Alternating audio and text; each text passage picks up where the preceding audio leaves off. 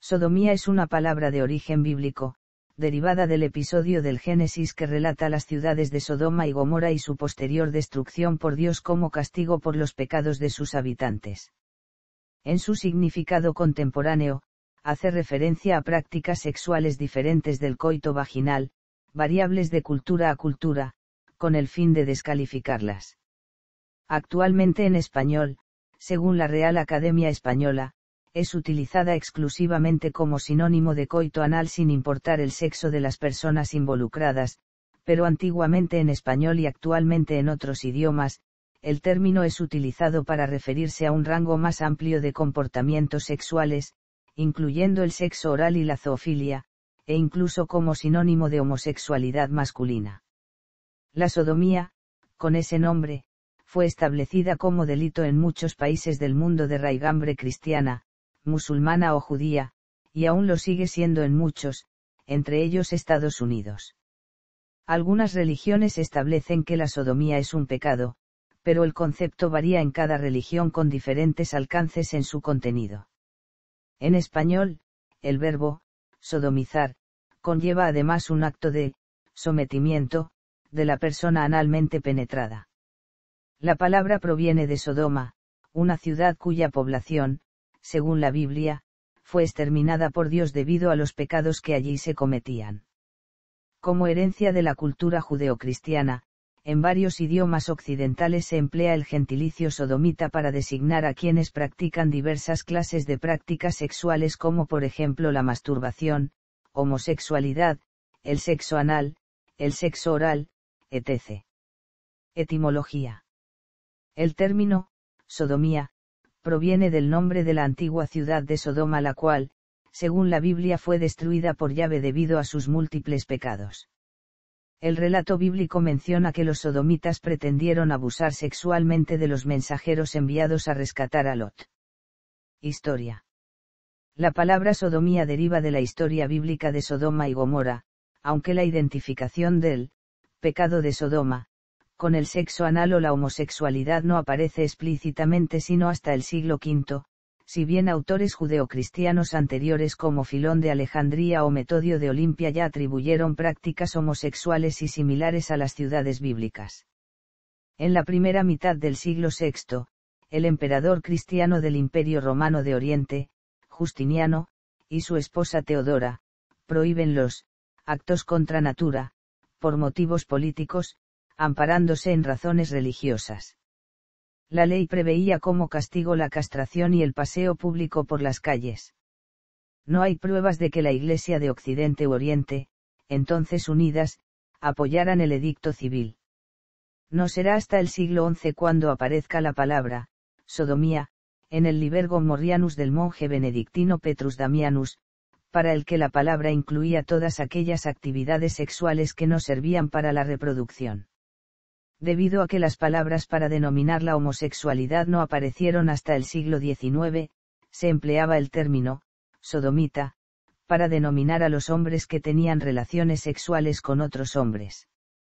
Las lesbianas eran ignoradas en gran medida, aunque mujeres que practicasen el sexo anal también caían bajo el epíteto, sodomita. En la Italia de finales del Renacimiento, al pintor Giovanni Antonio Bazzi le llamaban il Sodoma. Hasta el siglo XIII, la sodomía no era castigada en la mayoría de los países europeos, no era más que uno de tantos pecados que aparecían en los textos eclesiásticos. La actitud cambió en el transcurso de las cruzadas, en las que la propaganda antiislámica identificaba a los musulmanes con sodomitas que violaban a obispos y niños cristianos. Poco después se identificaba la sodomía con la herejía y entre 1250 y 1300 se introdujeron leyes que castigaban con la muerte dicho pecado. Estas leyes se emplearon sobre todo como herramientas políticas, como fue el caso de los templarios o del asesinato de Eduardo II de Inglaterra, o en casos de peligrar la paz social, como en casos de violaciones o pederastia. En general, la homosexualidad estaba bastante extendida, siendo el elemento clave la discreción. En Inglaterra Enrique VIII de Inglaterra introdujo la Bagari Act en 1533, que castigaba la sodomía con la horca.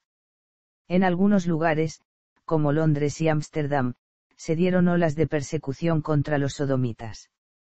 Con la conquista de América, los europeos establecieron el delito de sodomía en América, castigados por instituciones como la Inquisición y la represión violenta de los pueblos originarios que en general admitían prácticas sexuales consideradas sodomíticas por los europeos.